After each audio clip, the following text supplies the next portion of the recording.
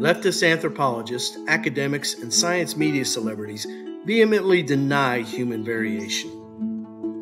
The woke activists pressure students and other young people to ignore evidence of race realism, even if it is staring them right in the eye. Quote, Human subspecies don't exist. Unlike many animals, modern humans simply haven't been around long enough or isolated enough to evolve into separate subspecies or races. Despite surface appearances, we are one of the most similar of all species. End quote. Narrator PBS Series 2003. Quote Human DNA is too similar to split us into subspecies or into races.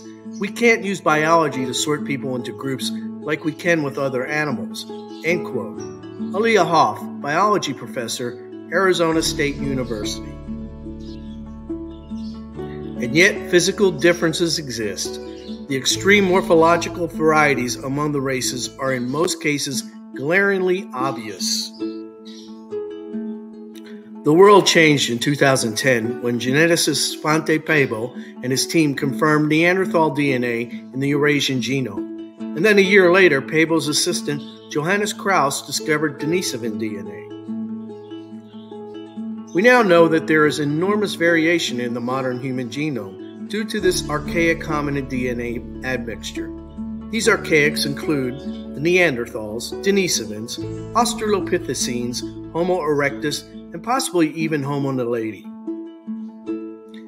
In this video, we are going to introduce you to modern humans who represent extreme variation in our species.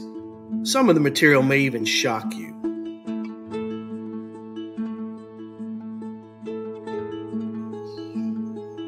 First, a brief definition. What is a hybrid?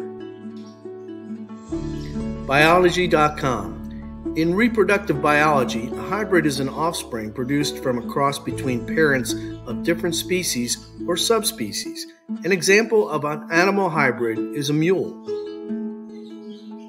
From National Geographic Ligers, Zorses, and Pizzlies, animal hybrids happen.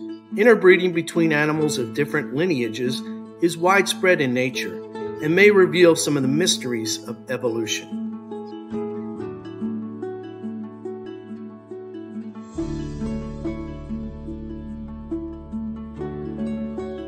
Many tribes with some of the most extreme examples of phenotypic human variation in our species went extinct or nearly extinct in the last 200 years.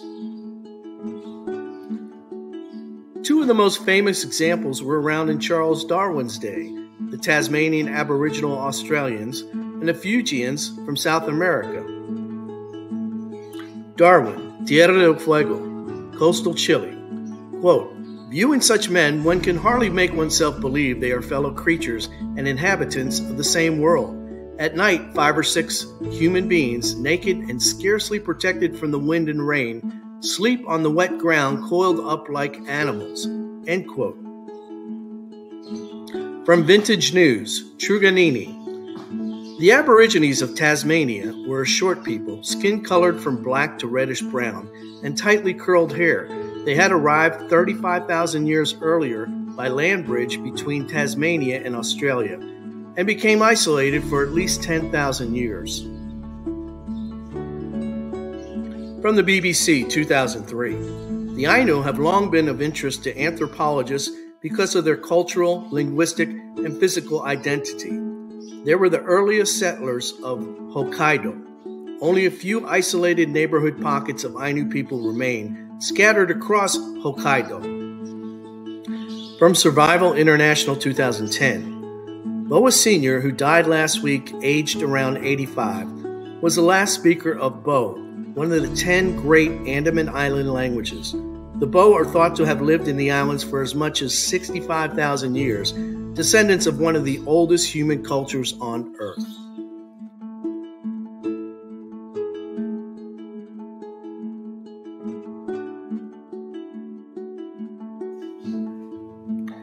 In 2021, Johannes Krause, co discoverer of Neanderthal and Denisovan DNA, published a paper in Nature titled A Genome Sequence from a Modern Human Skull over 45,000 years old from Zlatý kůň in Czechia.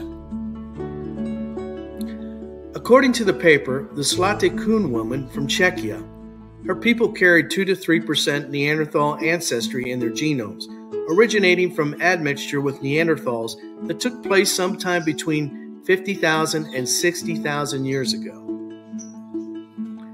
Additionally, a human skull discovered in Romania, Oase 1, dated 40,000 years ago, carried more Neanderthal ancestry, 6 to 9%, than other modern human genomes sequenced to date, owing to admixture with Neanderthals.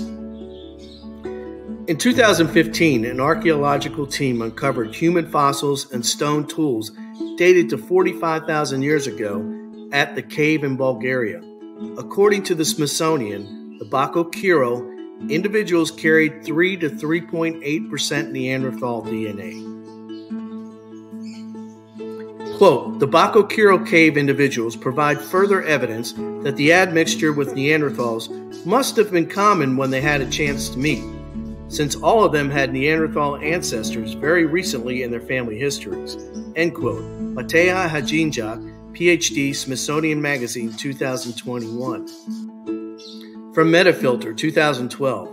Otzi the Iceman died around 3300 BC. His body preserved frozen in the Alps until 1991. DNA sequencing of Neanderthals 35,000 years ago suggests modern humans with ancestry outside of Africa carry Neanderthal genes due to interbreeding. According to University of Wisconsin professor John Hawks, quote, if we took as a baseline that Europeans have an average of 3.5% Neanderthal, Otzi the Iceman would have around 5.5%. He has substantially greater sharing with Neanderthals than any other recent person we have ever examined. End quote. Number one, Otzi the Iceman, Austria, 5.5% Neanderthal. Number two, Bacho Kiro, Bulgaria, 3.8% Neanderthal. Number three, Zlatý kůň, Czechia, 3% Neanderthal. Number 4, Oase Uno, Romania, 6 to 9% Neanderthal. The evidence is clear. Ancestors of modern Europeans were Homo sapien Neanderthal hybrids.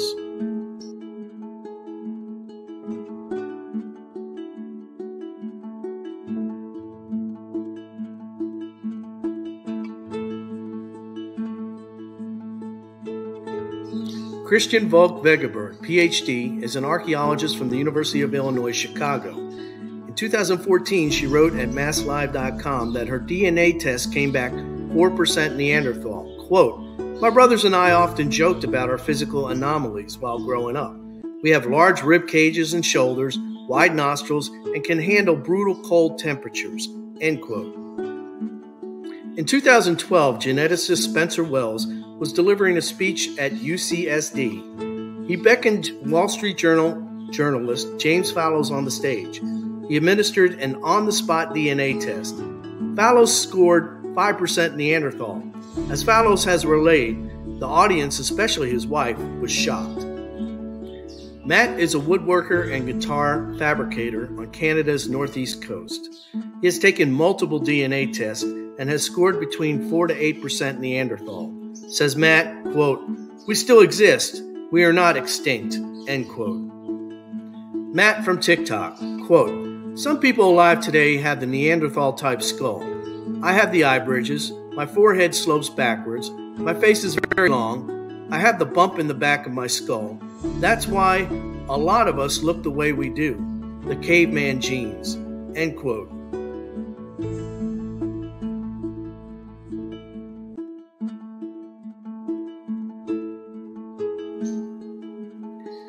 In 2012, researchers at Arizona State University ran genetics tests on Y chromosomes of 6,000 African males.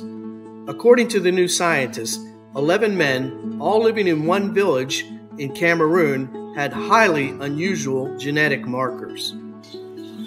From the Nigerian site called Iwo Eleru, the fossil showed a strange mix of ancient and modern features. Hunter gatherers from Cameroon Within these genomes, they found stretches of DNA that appear to come from another hominid species. Pictured seven of the 11 Cameroon villagers with inexplicable archaic DNA admixture. Dr. Michael Hammer, who led the research, is quoted The Cameroon village with an unusual genetic signature is right on the border with Nigeria, and Iwo Eleru is not too far away. In South Africa, some tribal members have facial features strikingly similar to Homo naledi. These include flared zygomatic cheekbones. The archaic hominid lived from 320,000 to 210,000 years ago, contemporary with early modern humans.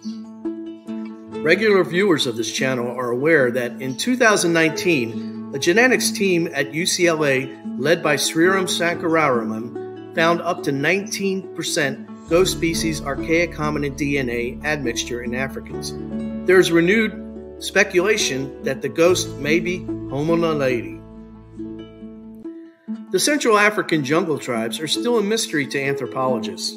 Biologist Claire Jordan of the University of Edinburgh, Quora 2022, quote, Afro Pygmies are the only human groups whose characteristics are distinct and sharp edged enough that they might possibly qualify them as a subspecies. End quote.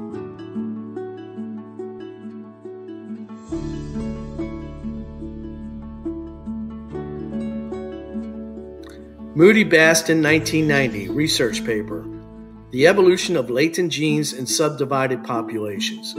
We define latent genes as phenotypically silent DNA sequences which may be reactivated by various genetic mechanisms. From Nova PBS 2006 Family in Turkey that walks on all fours. Is this the anthropological find of the millennium? They were first discovered in 2005 by scientist Üner Tan, who created a sensation in the popular press by characterizing the handwalkers as, quote, genetic throwbacks, end quote.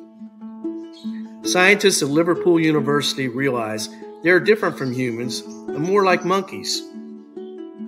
Professor Nicholas Humphrey, evolutionary psychologist, London School of Economics, CBS 60 Minutes.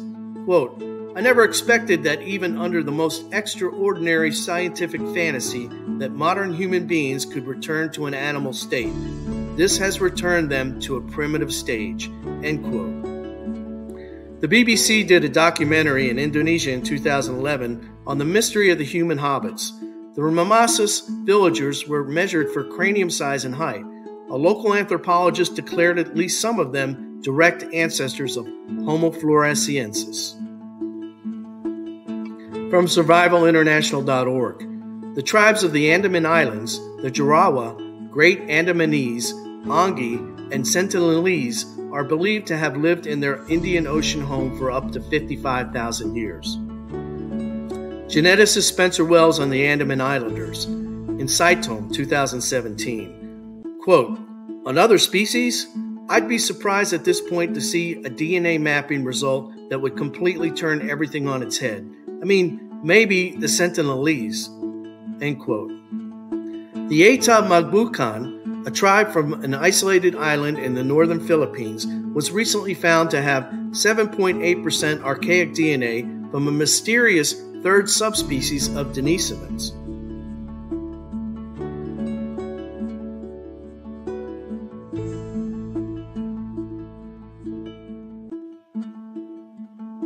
According to the New York Daily News, July 2020, a new study has found genetic proof that indigenous peoples from South America encountered Polynesians as early as 1200 AD, hundreds of years before Europeans made it across the ocean.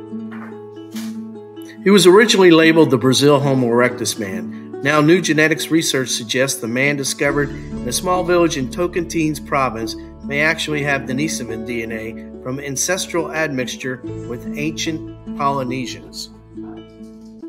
South Carolina has a native African population on isolated coastal islands, the Gullah Geechee. The Gullah were a rice growing people brought over from West Africa as slaves in the early 1800s. They have a direct genetic lineage to Cameroon. According to Roots and Recombination Project 2014, Y-DNA haplogroup A00 is the most basal Y chromosome DNA haplogroup discovered in an African American male from South Carolina.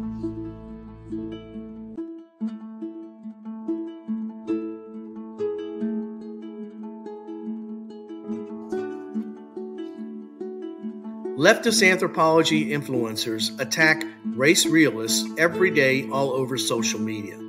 Erika at Gutsick Gibbon makes videos calling conservatives racist for discussing DNA admixture. Princeton professor Augustine Fuentes tweets daily attacks on hereditarians. Fuentes, quote, There is not a single biological element unique to any of the groups we call white, black, Asian, Latino, etc. There has never been a successful scientific way to justify any racial classification. End quote. Your task ahead is to counter the leftist narratives from people like Augustine Fuentes.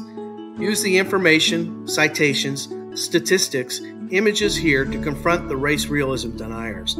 There are many platforms available for race realism advocacy Twitter, Facebook, Instagram, TikTok, Reddit. Let's make it happen. The first thing you can do is to pass this video on to as many people as possible, friend and foe. Thank you for watching, and thank you for your continued support. Please hit the like button, leave a comment, and we hope you watch our other videos. Thank you.